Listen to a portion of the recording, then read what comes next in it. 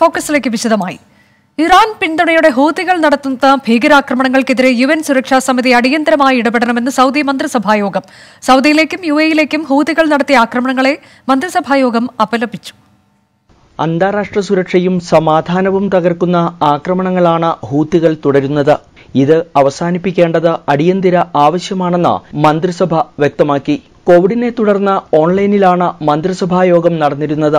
എന്നാൽ രണ്ടു വർഷത്തിനു ശേഷം ആദ്യമായി ഇന്ന് റിയാദ് അലിയമാമ കൊട്ടാരത്തിലാണ് മന്ത്രിസഭ ചേർന്നത്.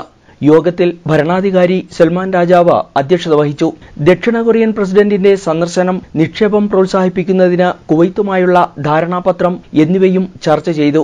അതിനിടെ ഇന്ത്യൻ റിപ്പബ്ലിക് ദിനത്തിന് ആശംസകൾ അറിയിച്ച സൗദി ഭരണാധികാരി സൽമാൻ രാജാവ് രാഷ്ട്രപതി രാംനാഥ് കോവിന്ദിന് സന്ദേശമയച്ചു ഇന്ത്യയ്ക്ക് അഭിവൃദ്ധിയും ഐശ്വര്യവും കൈവരിക്കാൻ കഴിയട്ടെയെന്ന് രാജാവ് സന്ദേശത്തിൽ പറഞ്ഞു. കിരീടാവകാശിയും പ്രതിരോധ മന്ത്രിയുമായ പ്രിൻസ് മുഹമ്മദ് ബിൻ സൽമാനും ഇന്ത്യയ്ക്ക് ആശംസകൾ നേർന്നു.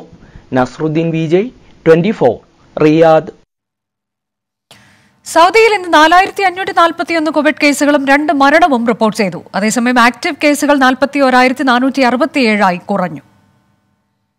സൗദിയിൽ ഇന്ന് നാലായിരത്തി അഞ്ഞൂറ്റി നാൽപ്പത്തി ഒന്ന് കോവിഡ് കേസുകൾ റിപ്പോർട്ട് ചെയ്തപ്പോൾ അയ്യായിരത്തി ഇരുന്നൂറ്റി പന്ത്രണ്ട് പേർ രോഗമുക്തി നേടി. രണ്ടു പേർ മാത്രമാണ് കോവിഡ് ബാധിച്ച് മരിച്ചത്.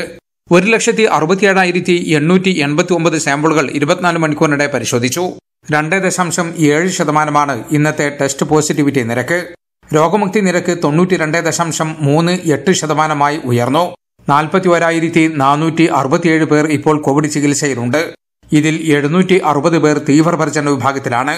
ആയിരത്തി അഞ്ഞൂറ്റി ഇരുപത്തിമൂന്ന് കോവിഡ് കേസുകളാണ് റിയാദ് നഗരത്തിൽ ഇന്ന് റിപ്പോർട്ട് ചെയ്തത്.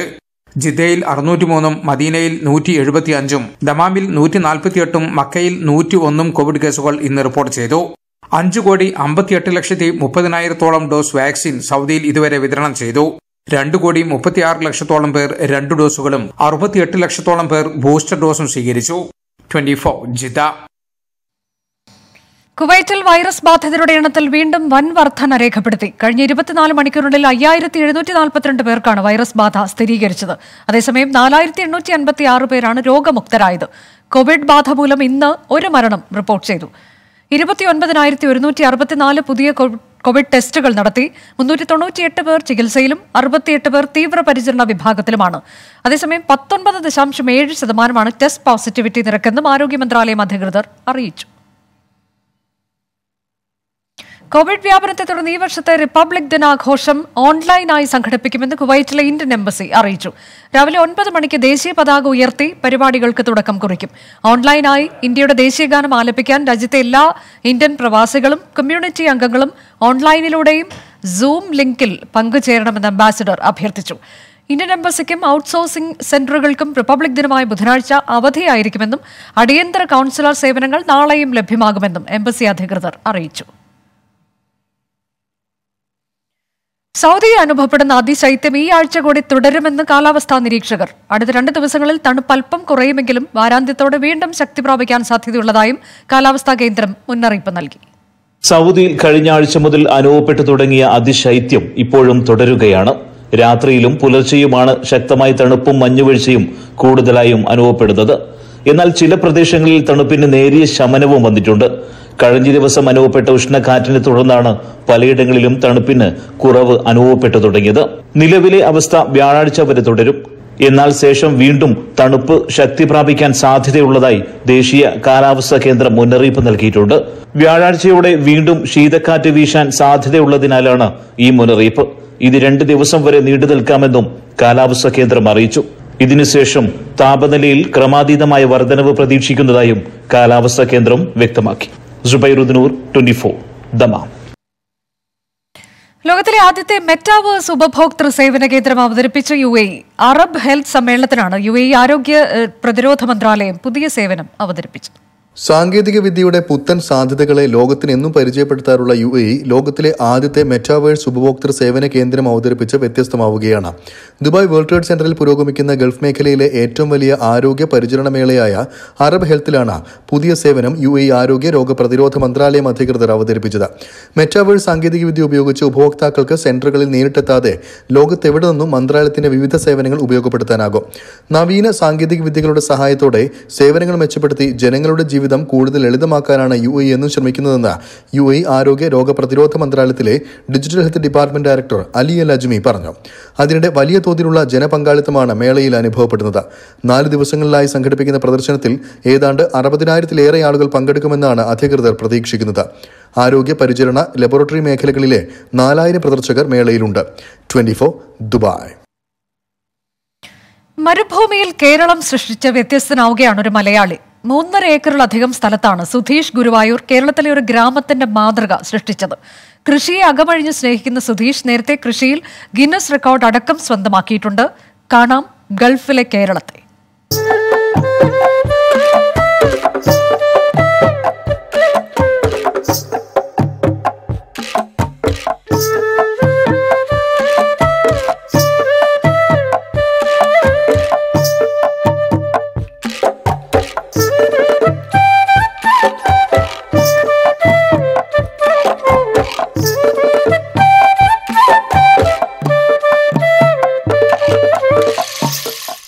നാട്ടിടവഴികളും തുമ്പിയും വയലേലകളും നിറഞ്ഞ കേരളത്തിന്റെ മനോഹര ഓർമ്മകളിൽ ജീവിക്കുന്നവരാണ് പ്രവാസികൾ. ഒരു തരത്തിൽ പറഞ്ഞാൽ നഷ്ടപ്പെട്ട നാട്ടുവഴികളിലേക്കുള്ള തിരിച്ചു നടത്തമാണ് ഓരോ പ്രവാസിയും മനസ്സുകൊണ്ട് ആഗ്രഹിക്കുന്നത്. പക്ഷേ പ്രവാസച്ചൂടിൽ നാടിന്റെ തണുപ്പ് ഓർമ്മകളിലേക്ക് ചുരുങ്ങും. എന്നാൽ മരുഭൂമിയിൽ ഒരു കൊച്ചു കേരളം സൃഷ്ടിച്ചാലോ? ചോദ്യം സുധീഷ് ഗുരുവായൂരിനോടാണെങ്കിൽ പറച്ചിലല്ല പ്രവൃത്തിയിലാണ് കാര്യമെന്ന് പറഞ്ഞ് കാണിച്ചു തരും. അതാണ് ഈ ചുറ്റും കാണുന്നത്. ഗൾഫിലെ ചുട്ടുപഴുത്ത മരുഭൂമിയാണ് ഇങ്ങനെ കേരളമായി മാറിയിരിക്കുന്നത്. നേരത്തെ താമസിക്കുന്ന വില്ലയിൽ ചെറിയ തോതിൽ ഉണ്ടാക്കിയിരുന്ന നെല്ലും പച്ചക്കറിയുമെല്ലാം അവിടെ നിന്ന് മാറി ഷാർജയിലെ അൽ സുബൈർ എന്ന സ്ഥലത്ത് ഇപ്പോൾ മൂന്നര ഏക്കറിൽ വിശാലമായി പുഞ്ചിരിച്ചു നിൽക്കുകയാണ്. അതെ ഷാർജയിൽ നിന്ന് കേരളത്തിലെ ഒരു കൊച്ചു ഗ്രാമത്തിലേക്ക് കണ്ണു തുറന്നു നോക്കാം. അവിടെയുള്ള വയൽവരമ്പിലൂടെ നടക്കാം. തുമ്പികളോട് കിന്നാരം പറയാം. നാട്ടിലേക്ക് എന്നും പോകാൻ സാധിക്കാത്ത പ്രവാസികൾക്കായാണ് ഒരു ചെറിയ ഗ്രാമം താൻ സൃഷ്ടിച്ചതെന്ന് സുധീഷ് പറയും. ആർജയുടെ ഹൃദയഭാഗത്ത് എന്നുവെച്ചാൽ എയർപോർട്ടിന്റെ അടുത്ത് തന്നെ ഒരു മൂന്നര ഏക്കറിലെ ഒരു കൊച്ചു ഗ്രാമം സൃഷ്ടിക്കുകയാണ് ഇവിടെ ഉണ്ടായിരുന്നത്. പറയാം ചില വരമ്പിൽ കൂടെ നടക്കാം അവരെ വരമ്പിൽ തിരിക്കാം തുമ്പികളുണ്ട്. തുമ്പ തുമ്പുണ്ട് അങ്ങനെ കാശിത്തുമ്പ അങ്ങനെ മുക്കുറ്റി അങ്ങനെ എല്ലാം ഒരു കൊടക്കയിലൂടെ കൊണ്ട് കാണിക്കാൻ വേണ്ടിയിട്ട് അവർക്ക് ആ കുട്ടികളെ കൊണ്ട് കാണിക്കുക എന്നുള്ളൊരിതാണ് എനിക്ക് ഞങ്ങൾ ഉദ്ദേശിച്ചുള്ളത് പ്രവാസികളായ ആളുകൾക്ക് നാടിന്റെ ഭംഗിയറിഞ്ഞ് അല്പസമയം ചെലവഴിക്കാനുള്ള ഒരു സ്ഥലമെന്ന ആഗ്രഹത്തിന് പുറത്താണ് ഇത്തരം ഒരു സംരംഭം തുടങ്ങിയതെന്നും അതിനുള്ള അവസരം അവർക്ക് നൽകുകയാണ് തന്റെ ലക്ഷ്യമെന്നും സുധീഷ് പറഞ്ഞു വെക്കുന്നു. കണ്ണടച്ച് തുറക്കും മുൻപ് നാട്ടിലെത്തി തിരിച്ചു പോകുന്ന അനുഭവമാണ് ഇവിടെയുള്ള ഓരോ പ്രവാസിയും പങ്കുവെക്കുന്നത്. നാടിന്റെ ഓർമ്മകളെ താലോലിക്കുന്ന പ്രവാസികൾക്ക് സുധീഷ് ഗുരുവായൂർ നൽകുന്ന സമ്മാനമാണ് ഈ മിനി കേരളം. ദുബായിൽ നിന്നും യൂസഫ് അലി മെൽഫോക്സിനൊപ്പം അരുൺ പാറാട്ട് ട്വന്റി കുവൈറ്റിൽ ഔദ്യോഗിക ജോലി സമയത്തിന് പുറമെ ഓവർ ടൈം ജോലികൾ നൽകുന്നതിനും അതിന്റെ സാമ്പത്തിക പ്രതിഫലം നൽകുന്നതിനുമുള്ള സംവിധാനം നടപ്പിലാക്കി ആരോഗ്യ മന്ത്രാലയം. ആശുപത്രികളിലും സ്പെഷ്യലൈസ്ഡ് സെന്ററുകളിലും ആഴ്ചയിൽ അഞ്ച് ദിവസത്തേക്ക് പരമാവധി നാല് മണിക്കൂറും പ്രാഥമിക ശുശ്രൂഷാ കേന്ദ്രങ്ങളിൽ ആഴ്ചയിൽ മൂന്ന് മണിക്കൂറും തൊഴിൽ എന്നതാണ് പുതിയ സംവിധാനം. ഔദ്യോഗിക പ്രവൃത്തി സമയത്തിന് പുറമെ പ്രവർത്തിക്കാനുള്ള അഭ്യർത്ഥനയുണ്ടായാൽ പ്രത്യേക പ്രതിഫലം ലഭിക്കുമെന്നും അധികൃതർ അറിയിച്ചു. ഇന്ത്യയുടെ റിപ്പബ്ലിക് ദിനാഘോഷങ്ങളുടെ ഭാഗമായി സൗദിയിലെ ലുലു ഹൈപ്പ് മാർക്കറ്റുകളിൽ ഇന്ത്യ ഉത്സവം ആരംഭിച്ചു. ഇന്ത്യയുടെ വൈവിധ്യമാർന്ന രുചിക്കൂട്ടുകളും മറ്റു വിഭവങ്ങളുമാണ് ഒരാഴ്ച നീണ്ടു നിൽക്കുന്ന ഷോപ്പിംഗ് ഉത്സവത്തിലുള്ളത്. റിയാദിൽ ലുലു സൗദി ഡയറക്ടർ ഷഹീം മുഹമ്മദിന്റെ സാന്നിധ്യത്തിൽ Indian ambassador doctor Ausaf Sayeed ഫെസ്റ്റിവലിന്റെ ഉദ്ഘാടനം നിർവഹിച്ചു. ജിദ്ദയിൽ Indian council general Muhammad Shahid Alam festival ഉദ്ഘാടനം ചെയ്തു. ഇന്ത്യക്കും സൗദിക്കുമിടയിൽ ഊഷ്മളമായ ബന്ധം തുടരുന്നതിൽ ലുലു ഗ്രൂപ്പിന് വലിയ പങ്കുണ്ടെന്ന് അംബാസിഡർ പറഞ്ഞു. മേള ഈ മാസം ഇരുപത്തിയൊൻപത് വരെ നീണ്ടു നിൽക്കും. രാജ്യത്തെ പരമോന്നത സിവിലിയൻ ബഹുമതിയായി പത്മ അവാർഡുകൾ പ്രഖ്യാപിച്ചു. അന്തരിച്ച സംയുക്ത സേനാ മേധാവി ജനറൽ ബിപിൻ റാവത്തിന് പത്മവിഭൂഷൺ സാമൂഹ്യ പ്രവർത്തക കെ ബി റാബി ഉൾപ്പെടെ നാല് മലയാളികൾക്ക് പത്മശ്രീ കവി പി നാരായണക്കുറുപ്പ് ഡോക്ടർ ശോശാമ ഐപ്പ് കായിക രംഗത്ത് നിന്ന് ശങ്കരനാരായണ മേനോൻ ചുണ്ടയിൽ എന്നിവർക്കാണ് പത്മശ്രീ. ഉത്തർപ്രദേശ് മുൻ മുഖ്യമന്ത്രി കല്യാൺ സിംഗിന് പത്മവിഭൂഷൺ ഗുലാം നബി ആസാദ് ബുദ്ധദേവ് ഭട്ടാചാര്യ എന്നിവർക്ക് പത്മഭൂഷൺ. ആർ രാധാകൃഷ്ണൻ തയ്യാറാക്കിയ റിപ്പോർട്ട്.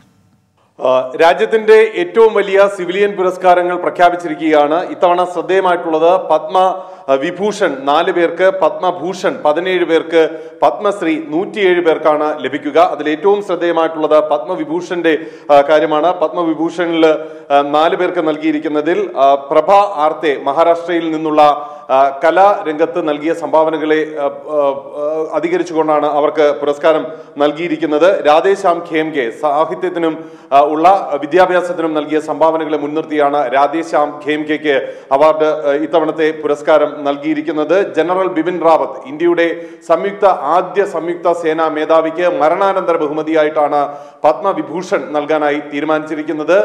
പത്മവിഭൂഷൺ നൽകുന്ന നാലാമത്തെ പേരുകാരൻ മുൻ ഉത്തർപ്രദേശ് മുഖ്യമന്ത്രി കല്യാൺ സിംഗ് ആണ്. കല്യാൺ സിംഗിനും മരണാനന്തര ബഹുമതിയായിട്ടാണ് പത്മവിഭൂഷൺ നൽകാനായി തീരുമാനിച്ചിരിക്കുന്നത്. പത്മഭൂഷൺ നൽകുന്ന നൽകാൻ തെരഞ്ഞെടുത്തിരിക്കുന്നവരിൽ രണ്ട് പേരുകളാണ് രാഷ്ട്രീയ രംഗത്ത് നിന്ന് ഏറെ ശ്രദ്ധേയമായിട്ടുള്ളത്. അത് ഗുലാം ആസാദിന്റെതും ബുദ്ധദേവ് ഭട്ടാചാര്യയുടെയും പേരുകളാണ് ഉള്ളത്. മലയാളികളെ സംബന്ധിച്ച് ഏറെ പ്രധാനപ്പെട്ടതും ഏറെ സന്തോഷം നൽകുന്നതും കെ ബി റാബിയയ്ക്ക് ഇത്തവണ പത്മശ്രീ പുരസ്കാരം ലഭിക്കുന്നു എന്നുള്ളതാണ് സാക്ഷരതാ രംഗത്ത് അവർ നൽകിയ സംഭാവനകൾ. ആ സംഭാവനകളെ മുൻനിർത്തിയാണ് പത്മശ്രീ നൽകാനായി തീരുമാനിച്ചിരിക്കുന്നത്.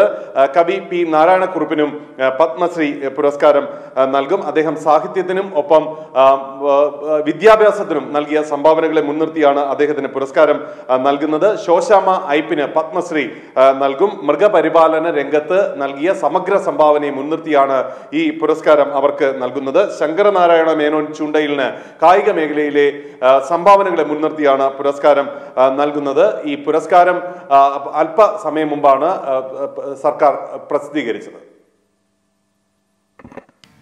പത്മഭൂഷൺ പുരസ്കാരം നിരസിച്ച് മുൻ ബംഗാൾ മുഖ്യമന്ത്രി ബുദ്ധദേവ് ഭട്ടാചാര്യ പുരസ്കാരം സ്വീകരിക്കില്ലെന്ന് പ്രസ്താവനയിലൂടെ അറിയിച്ചു. പാർട്ടിയുമായി ആലോചിച്ചാണ് തീരുമാനം. തന്നോട് ആരും ആലോചിച്ചിട്ടല്ല പുരസ്കാരം നിശ്ചയിച്ചതെന്ന് ബുദ്ധദേവ് ഭട്ടാചാര്യ പറഞ്ഞു. ബംഗാളി മുതിർന്ന ഗായിക സന്ധ്യാ മുഖർജിയും പുരസ്കാരം നിഷേധിച്ചു. പത്മ പുരസ്കാരം ലഭിച്ചതിൽ സന്തോഷമുണ്ടെന്ന് സി. ശങ്കരനാരായണൻ മേനോൻ പുരസ്കാരം അച്ഛന് സമർപ്പിക്കുന്നുവെന്നും അദ്ദേഹം പറഞ്ഞു. പുരസ്കാരം കിട്ടിയത് വളരെ സന്തോഷമുണ്ട്. ഈ നാട്ടിലുള്ള എല്ലാവരും എന്നെ വളരെ സന്തോഷിച്ച് ഇരിക്കണം. ഈ- കളരിക്കും അച്ഛനും ആണ് ഇതിന്റെ എല്ലാ ഉത്തരവാദിത്വം. അവരില്ലെങ്കിലും അവരെ അനുഗ്രഹം കൊണ്ടാണ് ഞങ്ങൾ ഈ ഇത്ര കാലം ഇവിടെ ഇത് പഠിച്ച് കാണിച്ചു കൊടുത്തിട്ടിരിക്കുന്നത് പത്മശ്രീ പുരസ്കാരം മുപ്പത് വർഷത്തെ നിസ്വാർത്ഥമായ സേവനത്തിന്റെ പ്രതിഫലമെന്ന് കെ വി റാബിയ ട്വന്റി ഫോറിനോട് തന്റെ പ്രവർത്തനങ്ങൾക്കൊപ്പം നിന്നവർക്ക് പുരസ്കാരം സമർപ്പിക്കുന്നു. ശാരീരികമായി വലിയ ബുദ്ധിമുട്ടുകളിലൂടെ സഞ്ചരിക്കുമ്പോഴാണ് രാജ്യത്തിന്റെ അംഗീകാരമെന്നും റാബിയ ട്വന്റി ഫോറിനോട് പറഞ്ഞു. എനിക്ക് വേണ്ടി ജീവിച്ച് മരിച്ചു പോയ മാതാപിതാക്കൾ എനിക്ക് വേണ്ടി ജീവിച്ച അരിയത്തി എനിക്ക് വേണ്ടി അത്രയും കഷ്ടപ്പെട്ട അരിയത്തിയുടെ ഭർത്താവ് അവർക്ക് മുമ്പിൽ സമർപ്പിക്കും ഔദ്യോഗിക തലങ്ങൾ എന്നും എന്നോടൊപ്പം പൂർണമായും സഹകരിച്ചിട്ടുണ്ട്. അപ്പോൾ പിന്നെ സമൂഹത്തിലെ എല്ലാവരും ഞാൻ അങ്ങനെ എന്തെങ്കിലും കാര്യങ്ങളൊക്കെ ചെന്ന് പറയുമ്പോൾ അവർ എല്ലാവരും സഹകരിക്കുന്നതുകൊണ്ട് എന്റെ ശാരീരികമായ ആവശ്യത അറിയാതെ സമൂഹത്തിന്റെ തണലിൽ സമൂഹത്തിന്റെ താങ്ങിൽ സമൂഹത്തിന്റെ ആ കൈത്താങ്ങിൽ ഞാനിങ്ങനെ മുന്നോട്ട് മുന്നോട്ട് പോയി. കോവിഡിനെ നേരിടുന്നതിൽ രാജ്യം നിശ്ചയദാർഢ്യം കാട്ടിയെന്ന് പ്രസിഡന്റ് രാംനാഥ് കോവിന്ദ്. റിപ്പബ്ലിക് ദിന സന്ദേശത്തിലായിരുന്നു പ്രസിഡന്റിന്റെ പരാമർശം. കോവിഡിനെ ഫലപ്രദമായി നേരിട്ടതിൽ തനിക്ക് അഭിമാനമുണ്ടെന്നും പ്രസിഡന്റ് പറഞ്ഞു. ആരോഗ്യ പ്രവർത്തകരുടെ സേവനത്തെ ആദരവോടെ സ്മരിക്കുന്നു. ഒളിമ്പിക്സിലെ ഇന്ത്യൻ താരങ്ങളുടെ പ്രകടനം അഭിമാനകരമാണ്. കൂടുതൽ മികച്ച ലക്ഷ്യങ്ങളിലേക്ക് നയിക്കുന്ന നേട്ടമാണ് ഉണ്ടായതെന്നും രാഷ്ട്രപതി പറഞ്ഞു.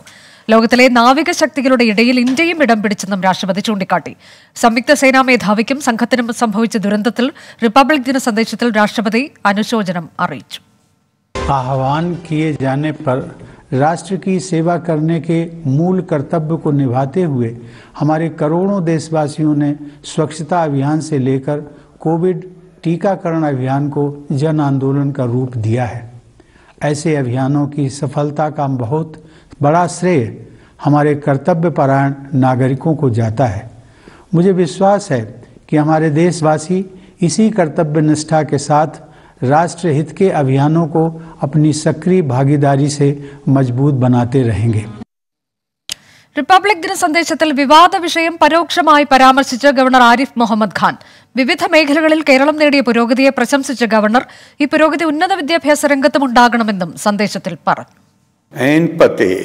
शतमानम पेर के कोविड वैक्सीन, नलकिया केरला वुम, पला मेखला कड़िल राज्यत्तिने मातिरका आणे। ई उत्तमा मातिरका, उन्नता विद्या अभ्यासा रंगते, कूडी साध्यम आकान नमुके शिरमिक्याम വർഗീയ രാഷ്ട്രീയം സംസ്ഥാനത്തിന്റെ അധികാരം കവരാൻ നോക്കുന്നുവെന്ന് മുഖ്യമന്ത്രി. ഭരണഘടനയുടെ അന്തസ്സത്തെ തകർക്കാൻ ശക്തമായ ശ്രമങ്ങളാണ് ഇവർ നടത്തിവരുന്നത്. വിഭാഗീയതയിൽ വേരൂന്നി ഫെഡറലിസത്തെ ദുർബലപ്പെടുത്തി സംസ്ഥാന അധികാരം കവരുന്നു എന്നാണ് വിമർശനം. റിപ്പബ്ലിക് ദിന സന്ദേശത്തിനാണ് മുഖ്യമന്ത്രിയുടെ പരാമർശം. അന്വേഷണ ഉദ്യോഗസ്ഥരെ അപായപ്പെടുത്താൻ ഗൂഢാലോചന നടത്തിയെന്ന കേസിൽ ദിലീപ് അടക്കമുള്ള പ്രതികളുടെ ചോദ്യം ചെയ്യൽ പൂർത്തിയായി. മൂന്ന് ദിവസമായി മുപ്പത്തിമൂന്ന് മണിക്കൂറാണ് പ്രതികളെ ചോദ്യം ചെയ്തത്. പ്രതികളെ വീണ്ടും ചോദ്യം ചെയ്യണമെന്നാവശ്യപ്പെട്ട് കോടതിയെ സമീപിക്കുമെന്ന് അന്വേഷണ ഉദ്യോഗസ്ഥൻ എസ് പി മോഹനചന്ദ്രൻ പറഞ്ഞു. ദിലീപിന്റെയും അനൂപിന്റെയും അടക്കം അഞ്ച് ഫോണുകൾ ഹാജരാക്കാൻ പ്രതികൾക്ക് ക്രൈംബ്രാഞ്ച് നോട്ടീസ് നൽകി. കേസ് രജിസ്റ്റർ ചെയ്തതിന് പിന്നാലെ ഉപയോഗിച്ചിരുന്ന ഫോണുകൾ പ്രതികൾ മാറ്റിയതായി ക്രൈംബ്രാഞ്ചിന് വിവരം ലഭിച്ചിരുന്നു. അതിന്റെ അടിസ്ഥാനത്തിലാണ് ക്രൈംബ്രാഞ്ച് ഫോണുകൾ ഹാജരാക്കാൻ ആവശ്യപ്പെട്ടത്. ആർ അരുൺരാജ് തയ്യാറാക്കിയ റിപ്പോർട്ടിലേക്ക്. ഗൂഢാലോചന കേസിൽ മൂന്ന് ദിവസം മുപ്പത്തിമൂന്ന് മണിക്കൂറാണ് ദിലീപും അഞ്ച് പ്രതികളും ക്രൈംബ്രാഞ്ച് ഓഫീസിൽ ചോദ്യം ചെയ്യലിന് ഹാജരായത്. എന്തായാലും ചോദ്യം ചെയ്യൽ അവസാന ഘട്ടത്തിലേക്ക് എത്തുമ്പോൾ ഇനിയും പ്രതികളെ വീണ്ടും വിളിച്ചു വരുത്തി ചോദ്യം ചെയ്യേണ്ടതുണ്ട് എന്ന നിഗമനമാണ് ക്രൈംബ്രാഞ്ച് മുന്നോട്ട് വെക്കുന്നത്. ഇതിനായി ക്രൈംബ്രാഞ്ച് പറയുന്നത് ഇലക്ട്രോണിക് ഉപകരണങ്ങളുടെ ശാസ്ത്രീയ പരിശോധനാ ഫലം ഇന്ന് ഉച്ചയ്ക്ക് ശേഷമാണ് തങ്ങൾക്ക് കിട്ടിയത്. ഇതുമായി ബന്ധപ്പെട്ട കൂടുതൽ കാര്യങ്ങൾ ചോദിക്കാൻ കഴിഞ്ഞിട്ടില്ല എന്നതാണ് ക്രൈംബ്രാഞ്ച് എസ് പി മോഹനചന്ദ്രൻ വ്യക്തമാക്കുന്നത്. അതേസമയം ഈ ചോദ്യം ചെയ്യലുമായി ബന്ധപ്പെട്ട ചില നിർണായകമായ വിവരങ്ങൾ കൂടി ഈ ഘട്ടത്തിൽ പുറത്തേക്ക് വരുന്നുണ്ട്. പ്രധാനമായും ഈ അഞ്ച് പ്രതികളുടെ ഫോണുമായി നേരത്തെ ഉപയോഗിച്ചിരുന്ന ഫോണുകൾ അന്വേഷണ സംഘത്തിന് മുമ്പിൽ ഹാജരാക്കാനുള്ള നിർദ്ദേശം ഇപ്പോൾ ക്രൈംബ്രാഞ്ച് നൽകിയിട്ടുണ്ട്. ഈ കേസ് രജിസ്റ്റർ ചെയ്തതിന് പിന്നാലെ ദിലീപ് അനൂപ് അതുപോലെ തന്നെ സുരാജ് എന്നിവർ ഈ പ്രധാനപ്പെട്ട അവരുടെ ഉപയോഗിച്ചുകൊണ്ടിരുന്ന ഫോണുകൾ പൂർണമായും ഇവർ മാറ്റിയതായാണ് ക്രൈംബ്രാഞ്ചിന് ലഭ്യമാവുന്ന വിവരങ്ങൾ. ദിലീപും അനൂപും തങ്ങളുടെ ഈ രണ്ട് ഫോണുകളും മറ്റൊരു പ്ര- പ്രതിയായ സുരാജ് ഒരു ഫോണും പ്രധാനമായും അന്വേഷണ സംഘത്തിന് മുമ്പിൽ നിന്ന് ഈ അന്വേഷണ സംഘം ആ, ചോദ്യം ചെയ്യേണ്ട വേളയിൽ വാങ്ങിയ സീസ് ചെയ്ത ഫോണുകളുടെ ഒപ്പമല്ല അതിന്റെ ഐ എം ഇ നമ്പറുമായി ഒത്തുനോക്കിയപ്പോൾ ഈ ഫോണുകൾ മാറിയാണ്. അന്വേഷണ സംഘത്തെ തെറ്റിദ്ധരിപ്പിക്കാൻ ഇവർ ശ്രമിച്ചു എന്ന നിഗമനമാണ് അന്വേഷണ സംഘത്തിന് നിലവിലുള്ളത്. ഇക്കാര്യത്തിൽ നാളെ ഉച്ചയ്ക്ക് മുമ്പ് തന്നെ ഈ ഫോണുകൾ നേരത്തെ ഉപയോഗിച്ചിരുന്ന ഫോണുകൾ ഉടൻ ഹാജരാക്കണമെന്ന നിർദ്ദേശം ഇപ്പോൾ അന്വേഷണ സംഘം നൽകിയിട്ടുണ്ട്. എന്നാലും ഈ ശാസ്ത്രീയ പരിശോധനാ ഫലം കൂടി ഇന്ന് ലഭിച്ച ഘട്ടത്തിൽ കൂടുതൽ ചോദ്യം ചെയ്യണമെന്ന ആവശ്യമാണ് ക്രൈംബ്രാഞ്ച് മുന്നോട്ട് വെക്കുന്നത്. സിനിമാ മേഖല കേന്ദ്രീകരിച്ച കൂടുതൽ പേരെ ഇന്ന് ചോദ്യം ചെയ്യുന്ന സ്ഥിതിയും ആ, ഇന്നുണ്ടായി സിനിമാ മേഖലയിൽ ദിലീപിന്റെ ഏറ്റവും അടുത്ത സുഹൃത്ത് കൂടിയായ വ്യാസൻ ഇടവനക്കാടിനെയാണ് ഇന്ന് വിളിച്ചു വരുത്തി ക്രൈംബ്രാഞ്ച് ചോദ്യം ചെയ്തത്. മറ്റൊരു പ്രധാനപ്പെട്ട വസ്തുത ഈ ക്രൈംബ്രാഞ്ച് ചോദ്യം ചെയ്യലിൽ ദിലീപിന്റെ അടക്കമുള്ളവരുടെ ശബ്ദ സാമ്പിളുകൾ താൻ തിരിച്ചറിഞ്ഞതായി വ്യാസൻ ഇടവനക്കാട് മാധ്യമങ്ങളോട് പിന്നീട് പ്രതികരിക്കുകയും ചെയ്തു. ഇതുമായി ബന്ധപ്പെട്ട ബാലേന്ദ്രകുമാറിന്റെ മൊഴിയിൽ പറയുന്ന ഒരു അഭിഭാഷകൻ തിരുവനന്തപുരം സ്വദേശിയായ അഡ്വക്കേറ്റ് സജിത്തിനെയും ഇന്ന് ക്രൈംബ്രാഞ്ച് ചോദ്യം ചെയ്ത് വിട്ടയച്ചിട്ടുണ്ട്. ഈ സജിത്തിന്റെ മൊഴിയിൽ ദിലീപിന് അനുകൂലമായ ചില വാദങ്ങളാണ് മുന്നോട്ട് വെക്കുന്നത്.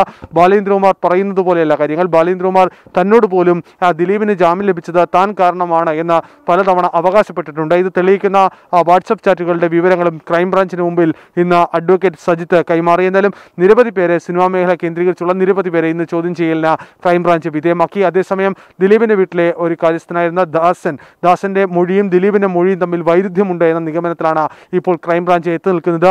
അനൂപും അനൂപും അതുപോലെ തന്നെ ബാലേന്ദ്രകുമാറും തമ്മിൽ കാണുന്നതിനുള്ള ചില ശ്രമങ്ങൾ നടത്തിയിരുന്നു ഇത് ബാലേന്ദ്രകുമാർ തന്നെ വെളിപ്പെടുത്തിയ മൊഴിയിലുമുണ്ടായിരുന്നു. ഈ മൊഴി പൂർണമായും ഇതിൽ അതാ ഈ ബാലേന്ദ്രകുമാറും ദാസനും പറഞ്ഞ മൊഴി സാമ്യമാകുമ്പോൾ ദിലീപ് അതിന് വിരുദ്ധമായ ഒരു മൊഴിയാണ് അന്വേഷണ സംഘത്തിന് മുമ്പിൽ നൽകിയത്. ഈ കാര്യങ്ങളിലെല്ലാം കൂടുതൽ പരിശോധന നടത്താനാണ് ക്രൈംബ്രാഞ്ച് തീരുമാനം. വരും ദിവസം തന്നെ ഡയറക്ടർ ജനറൽ ഓഫ് പ്രോസിക്യൂഷനുമായി കൂടിക്കാഴ്ച നടത്തി എന്തായാലും മുദ്രവെച്ച കവറിൽ ഇതുവരെയുള്ള അന്വേഷണ പുരോഗതി റിപ്പോർട്ട് ക്രൈംബ്രാഞ്ച് സമർപ്പിക്കും. തുടർന്ന് ഈ കേസുമായി ബന്ധപ്പെട്ട് ഈ പ്രതികളെ വീണ്ടും ചോദ്യം ചെയ്യണമെന്ന ആവശ്യം കോടതിക്ക് മുമ്പാകെ വെക്കാനാണ് അന്വേഷണ സംഘത്തിന്റെ തീരുമാനം.